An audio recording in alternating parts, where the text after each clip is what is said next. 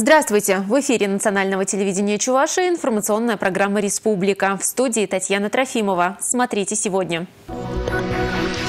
Опережающая подготовка кадров. Студенты электромеханического колледжа продемонстрировали главе передовые технологии. Для пациентов комфорт, для врачей удобство. В Новочебоксарске после капитального ремонта открылось хирургическое отделение городской больницы. Самбо в школу. Юные спортсмены из Чебоксар готовятся к престижным соревнованиям.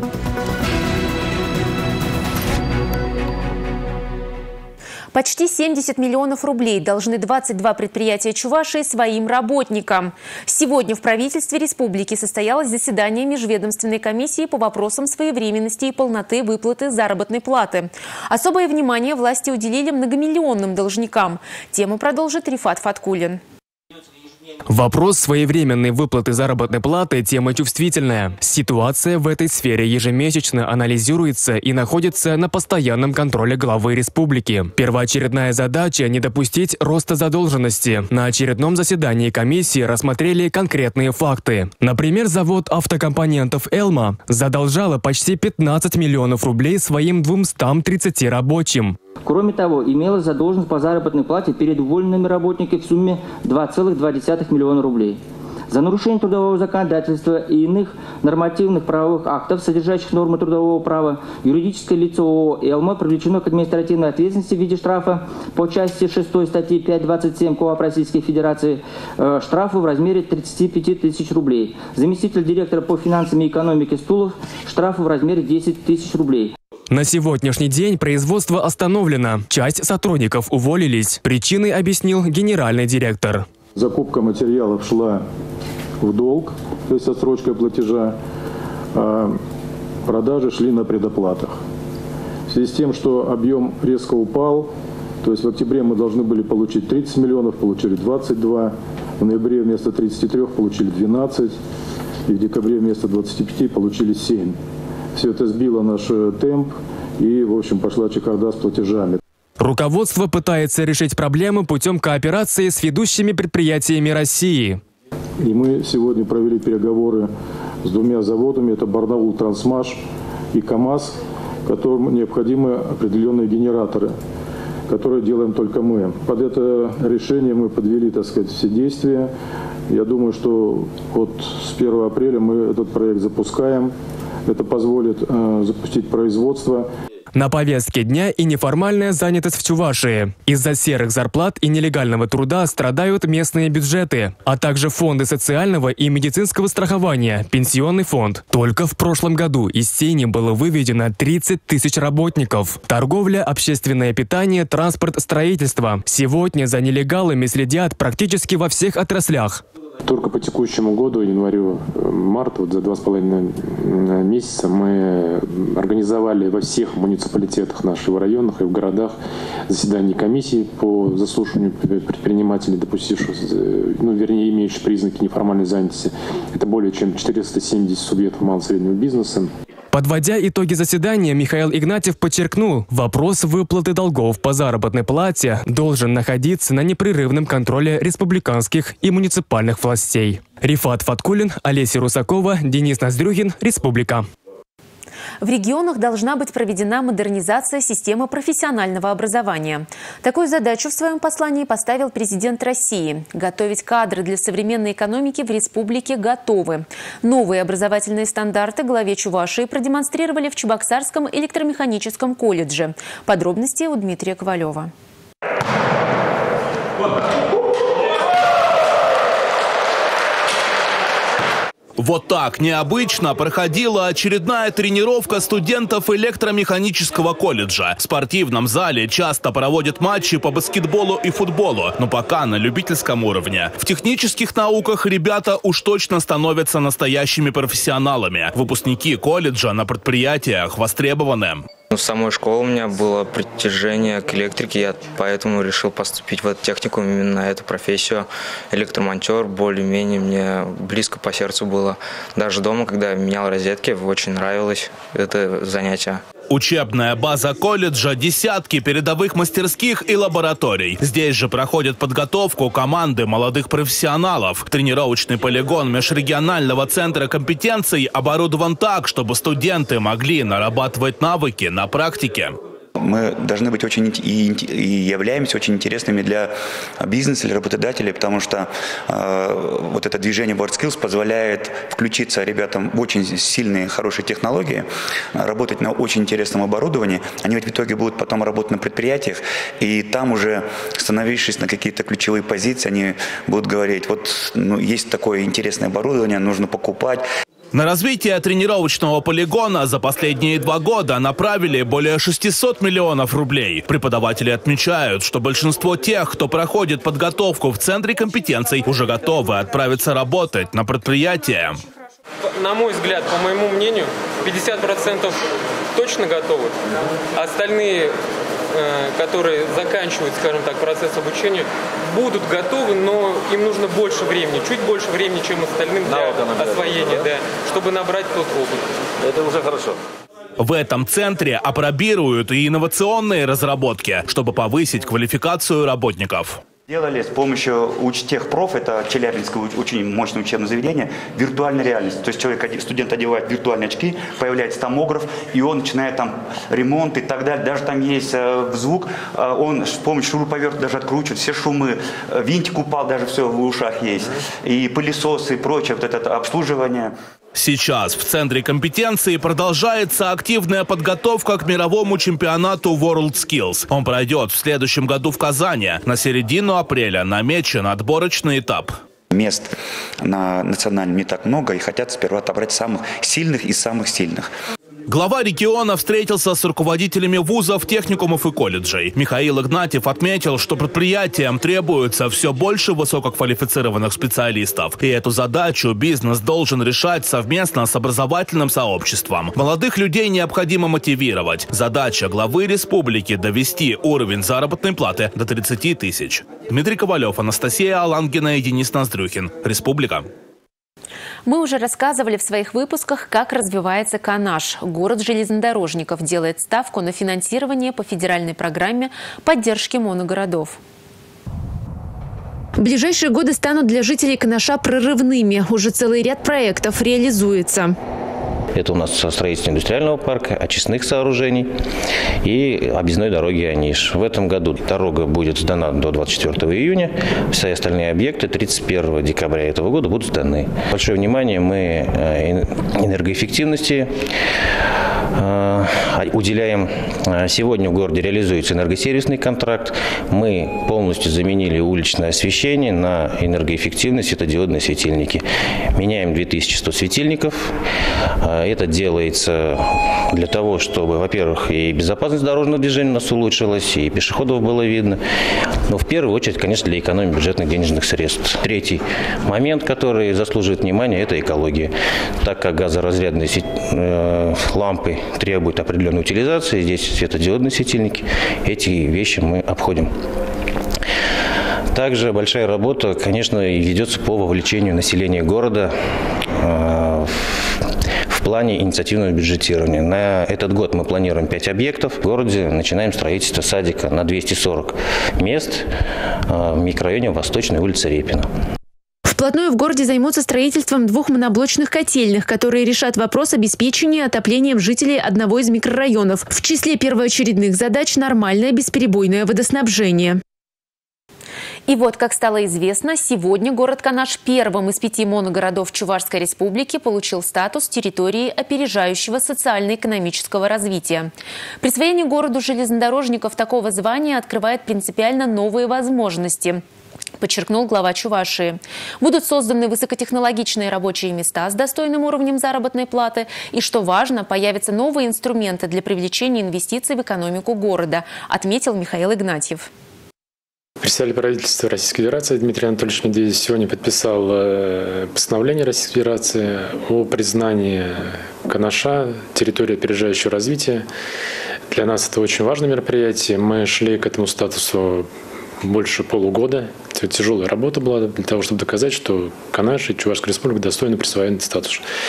Это очень выгодно для города Канаш, поскольку дает возможность э, более привлека...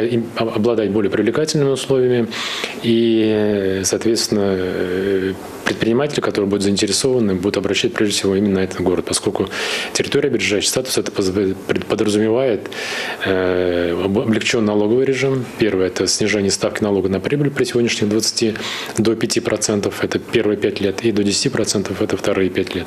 Освобождение ставки по налогу на имущество, по земельному налогу, а также самое главное – это страховые взносы с 30% сегодняшних до 7,6%.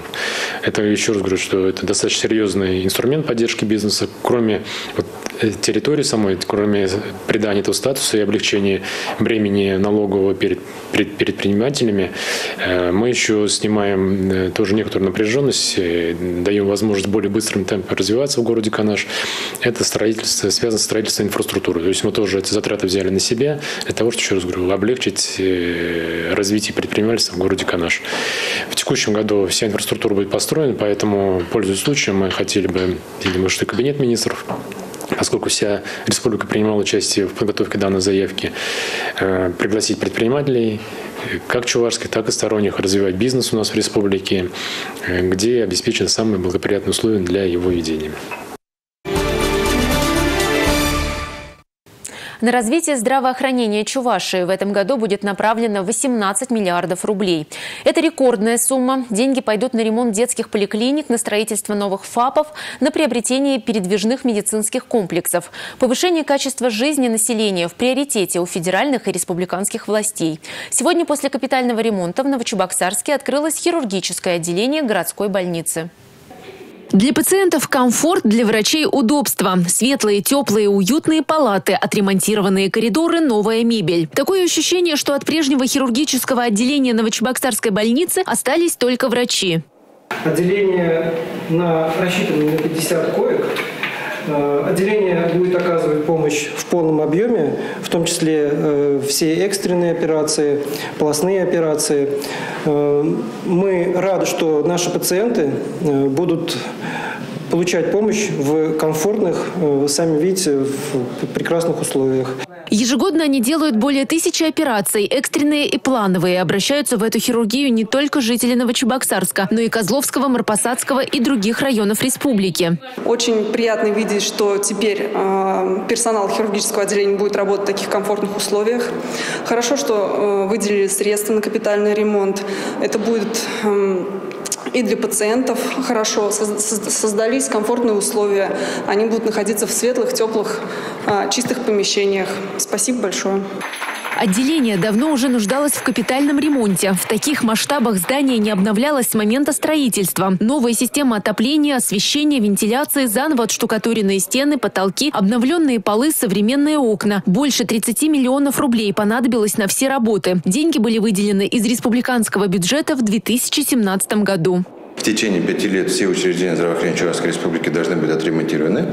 Ну и Владимир Владимирович Путин обозначил, в течение трех лет все детские лечебно-профилактические учреждения должны быть отремонтированы. Ремонт в Новочебоксарской городской больнице продолжится. Теперь в терапевтическом отделении. Кроме этого, в городе Химиков в этом году отремонтируют второй, третий, четвертый этажи детской поликлиники. Деньги на это уже выделены. Напомним, первый этаж был обновлен еще в 2015 -м. Главное не упускать возможность брать инициативу в свои руки и творить, говорят участники форума «Россия – страна возможностей». Они уже на себе проверили, куда ведут социальные лифты. Собственно, для этого и создавалась одноименная платформа, объединившая 14 всероссийских конкурсов, проектов и олимпиад. Ее инициатор президент России Владимир Путин посетил форум и пообщался с участниками. Специальный репортаж о значимости событий уходящей недели от моих коллег Ирины Волковой и Андрея Шоклева. От Калининграда до Камчатки, от школьников до серебряных волонтеров, более шести с половиной тысяч участников масштабных всероссийских проектов. Я все-таки хотел бы каждого из вас и спросить, а ты сможешь? А другого... Другого ответа в этой аудитории трудно было и ожидать. И страна, наша наша Родина, любимая нами Россия, она ждет и очень хочет, чтобы каждый из вас смог реализовать все свои планы, все свои начинания, все свои творческие задумки. Потому что если это произойдет, то вместе с вами будет развиваться и страна. Она будет устремлена в будущее, она будет успешной, она будет страной, которой все мы будем гордиться, гордимся и будем гордиться в будущем. Мы обеспечим ее будущее, и мы сделаем это вместе. Да? Что они могут, уже доказали. Каждый из них попробовал силы в конкурсах – лидерских, профориентационных, творческих.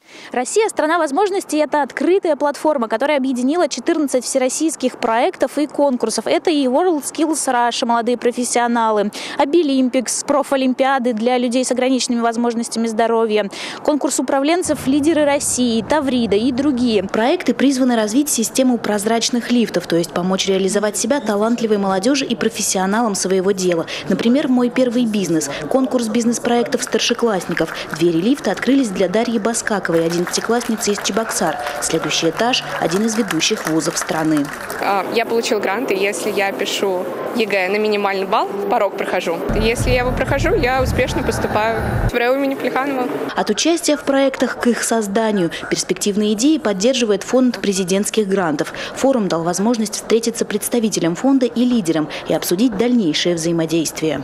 А, фонд президентских грантов. Это та организация, которая готова слышать, слушать и, что самое а, ну, вот классное, на мой взгляд, она готова развиваться постоянно. В этом году э, мы выиграли грант фонда президентских грантов э, на реализацию проекта «Доноры крови Чуваши».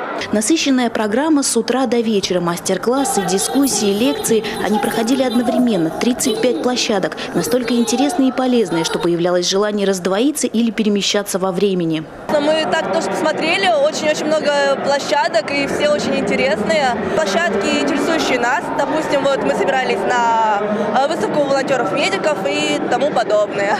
Волонтеры – добрая часть участников форума. Здесь они объединялись и придумывали, какие еще социальные проекты нужны России и регионам. К этой теме особое внимание, потому что 2018 год объявлен годом добровольца. Это касается огромного количества людей.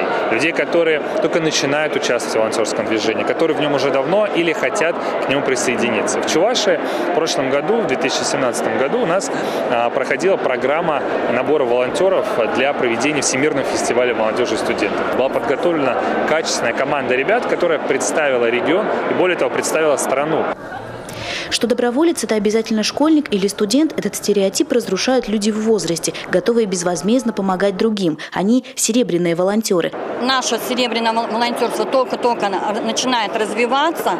А, есть, а, ну как вот, экспресс-бабушки есть, да, есть ветераны у нас есть. И мне бы хотелось здесь а, ну, набраться опыта и все-таки централизованно, чтобы у нас все было. Форум – это площадка и для серьезных разговоров с министрами федерального уровня о возможностях для России в мире с министром иностранных дел Российской Федерации Сергеем Лавровым, о перспективах и вызовах с председателем Центра стратегических разработок Алексеем Кудриным. У нас в ближайшие лет 15 существенно сократится доля молодого населения в трудоспособном населении. Вот, в общем, я бы сказал, у нас даже может сложиться дефицит молодых людей, быстро обучаемых, мобильных, современных, творческих, креативных. Э, это означает, что нам нужно и более старшее поколение, средний и более старший возраст помогать переучивать. Число крупных всероссийских конкурсов и проектов будет увеличиваться, заверяют организаторы. А значит, еще больше расширятся возможности и заработает еще больше социальных лифтов.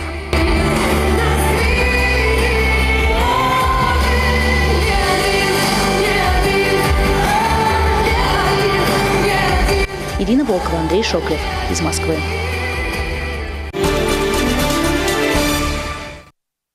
Самбисты 47-й Чебоксарской школы вошли в число лучших всероссийского марафона «Дни самбо» в школах России. Они получили путевки в спортивные лагеря, где в мае пройдут всероссийские соревнования по самбо. С юными спортсменами встретилась наша съемочная группа. Перед началом разминки небольшой мастер-класс от тренера. Выполнение одного из боевых приемов лежа. В республиканской школе самбо кадеты 47-й Чебоксарской школы тренируются трижды в неделю.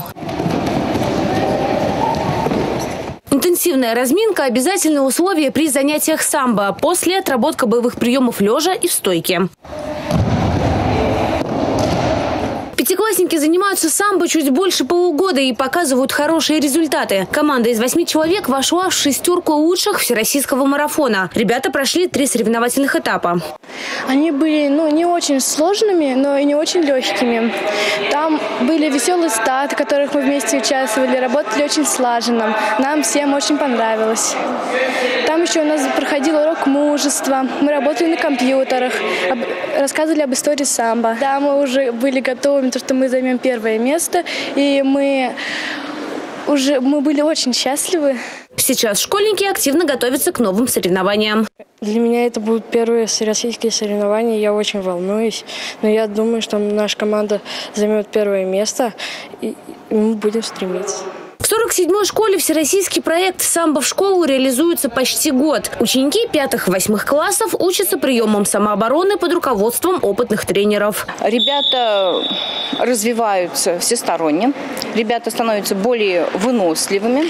Проект действительно полезный, потому что мы видим уже результаты. Ребята выступают не только на республиканских соревнованиях, но и на всероссийском. Пока этот спортивный проект поддержали четыре столичные школы и восемь районных. И это только начало. Самбо в школу набирает обороты.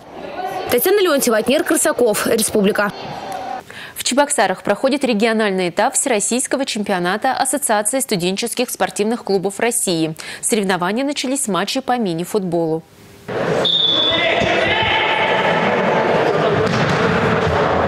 Региональный отборочный этап чемпионата Ассоциации студенческих спортивных клубов, сокращенно АССК, сейчас проходит в 50 регионах страны. На него попали команды, которые стали лучшими в своих вузах. Соревнуются студенты в пяти видах спорта. Помимо мини-футбола, это волейбол, баскетбол, настольный теннис и шахматы. Организаторы отмечают, это не соревнования профессиональных спортсменов. Главная цель – вовлечь в спорт как можно больше учащихся. Есть такие требования. А, а, спортсмены не должны быть кандидатами в мастера спорта, мастерами спорта, не должны быть высокоразрядники. Лучшие команды регионального этапа представят республику на всероссийском суперфинале. Он пройдет в Анапе в мае этого года. Ольга Пырочкина, Дина Пустова, Александр Петров. Республика. Это все, о чем мы успели рассказать вам сегодня. Я с вами прощаюсь. До свидания и хороших выходных.